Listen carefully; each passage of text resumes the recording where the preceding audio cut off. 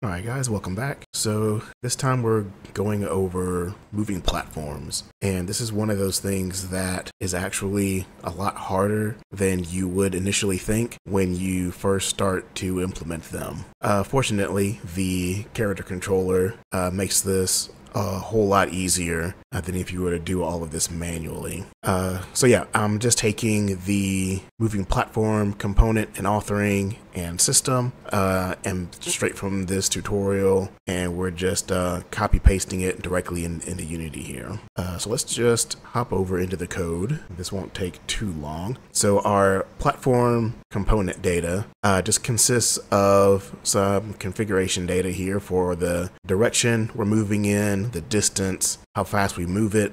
We have a rotation axis and rotation speed. Uh, we have some hidden bools and floats for storing our position and rotation when we first initialize. Um, and then the authoring, of course, is just uh, baking all this out to an entity. The actual system here, um, it's pretty short, but uh, you do have to make sure that it is updating in the before physics systems group um, because we are going to be changing the velocity of this uh, and our player uh, needs to have that velocity before the physics groups actually updates. Uh, here in update, we're just stashing our delta time, uh, the inverse delta time, which we use for calculating the velocity down below, uh, and then just the elapsed time. In our job here, we're just getting the actual moving platform, uh, its physics velocity, mass, and its local position. Here, just on the first frame, uh, we'll just initialize, we save the original position, rotation from our platform. This is used here uh, for our target position that we are getting a sine function here to our speed and time. So this will give us a nice uh, ping pong motion back and forth. As the sine goes negative, that will be our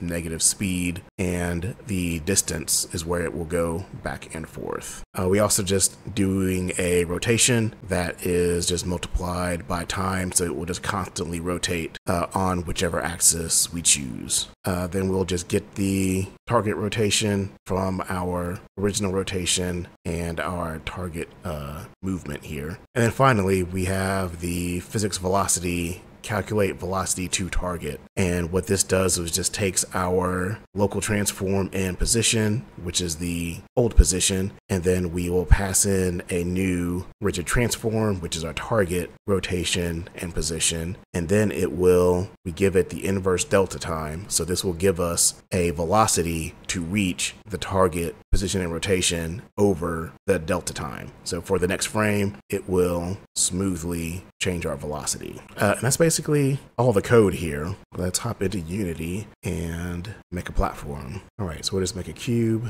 here-ish. All right, so what we'll do here is just throw on our moving platform authoring, give it a direction, distance, we won't do rotation just yet. And we have to put a rigid body here. And then we just want to make sure that it is dynamic. So you see how it is kind of sloppy here as we move up and down. That is kind of the naive way to do a moving platform. We're just moving it up and down. But with the character controller, we have a tracked transform authoring. And what this does, we'll look in the code real quick. Here in our aspect, we have this moving platform detector. And what this does is if we are grounded on a tracked transform, then we set the player's parent to be that platform. So we are stuck on that platform. And here we are no longer moving.